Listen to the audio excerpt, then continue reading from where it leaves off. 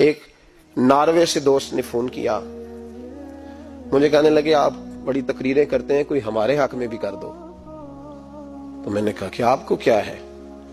कहने लगे, आप परदेशियों की मजबूरियाँ नहीं समझते? मैंने कहा, क्या हुआ? कहने लगे, हज़रत जी, शिकवा है कि हमारे अपने हमें जब भी फ़ोन करते हैं, वो ये नहीं पूछते कि शाम का खाना खाया है कि नहीं खाया। वो कहते हैं शादी आ गई है तो जल्दी करो, पैसे भेज दो, फटाफट करो। कहते हैं, कभी किसी ने हमसे हमारा हाल ही नहीं पूछा। कभी किसी ने ये गौर ही नहीं किया कि वो प्रदेश में गया है और शाला परदेसी कोई भी न थी वे।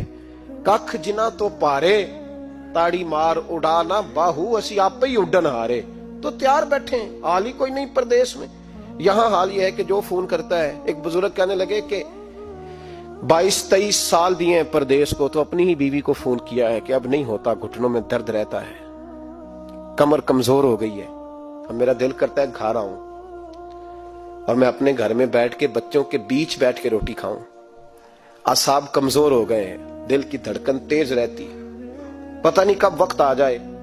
तो कहते हैं, मेरी बीवी जिसे मेरे दुख सुख का साथी होना चाहिए, वो कहती है, चले तीन चार साल और लगा लें फिर आ जाना। वो भाई, क्या उस शख्स के साथ क्या ताल्लुक है?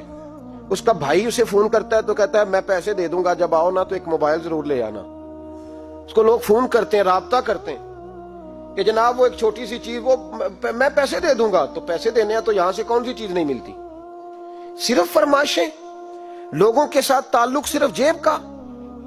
रिश्ता सिर्फ़ जो है, वो ताल्लुक सिर्फ़ इस चीज़ का कि वो आदमी एक एटीएम मशीन है तो फटाफट कार्ड डालो ताकि आपके हिस्से के पैसे निकल आए।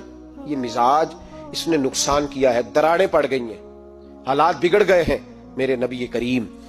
सैयद आलम सल्लल्लाहु अलैहि वसल्लम ने रिश्तों को जो वकार दिया इमाम गजाली रहमत ने लिखा है मुकाशिफतुल कुलूब में। फरमाते हैं, कुछ लोग कयामत के करीब आएँगे जिनके नबी पाक वसल्लम ने निशानदेही की है। उनके पास कोई शख्स ना बैठे, वरना उसका दिल काला हो जाएगा।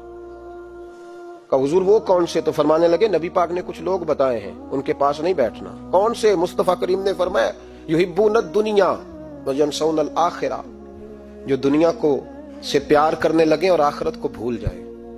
इमाम साहब फरमाते हैं, इनसे दूर रहना दिल काला हो जाएगा। यू हिब्बून अल माला व यनसौन अल हिसाब। वो जो नबी पाक ने फरमाया ना, कुछ लोग आएँगे जो माल से तो प्यार करेंगे, पर उसके हिसाब को भूल जाएँगे। उनसे बचना, फरमाया यू हिब्बून अल कसूरा व यनसौन अल मकबरा। जो मकानों से तो प्यार करेंगे, पर अपनी कब्रों को भूल जाएँगे। और फरमाया, उन लोगों से भी बच के रहना, उनसे भी परहेज करना, कि जो लोग युहिब्बू नल खल का वज़न सौनल खालिक जो लोग मखलूक से तो